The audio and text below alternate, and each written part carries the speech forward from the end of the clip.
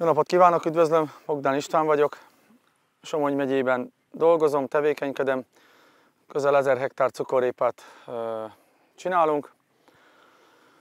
Most Edde határában állunk. Itt egy 26 hektáros cukorrépa tábla található. Megjött végre a vártva várt eső. Most 15 milli csapadékot kaptunk.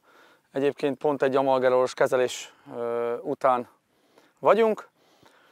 Ez a technológia, ez még hagyományos technológia, ez még Betalan Expert, illetve Goltixos hagyományos gyomírtási technológiára épülő, de a többségi répánk az már egy új technológiára épülő. Ami itt nagyon fontos, hogy többször használunk amalgerót. Az idei évben már egyszer kezeltük a répát, mint ahogy látható, illetve látni fogják. Akkor ezen a táblán is már elég fejlett a répa, összezártak a, a, a répák.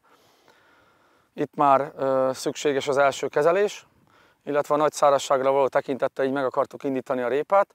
Tavaly évben kétszer használtuk az amalgerolt, kétszer 3 liter per hektár dózisban, illetve egyszer volt egy külön kezelésünk, az pedig volt egy, egy gyengébb, illetve egy közepes erősségű jégkárunk, és így a sebgyógyítás, illetve a, a, a jégkárból való gyorsabb kijövetel, illetve a stressz megszüntetésére használtuk kifejezetten jól az amalgerolt.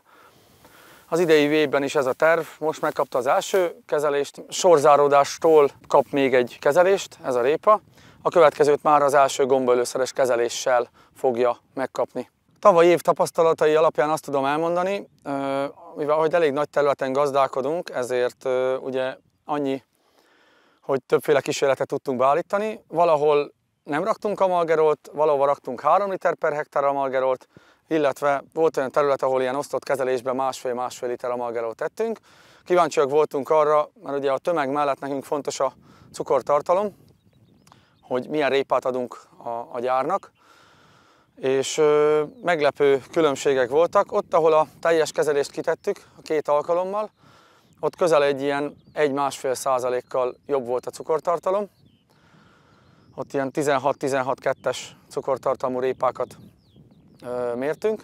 Ahol fél dózist raktunk, az sem maradt el a vártól, de meglepő módon, ahol nem alkalmaztuk az amalgaros kezelést, ott ilyen egy-másfél százalékot meg volt a különbség, és én ennek tudom be, mert volt olyan tábla, ahol maximum egy kilométer távolságban volt a következő tábla.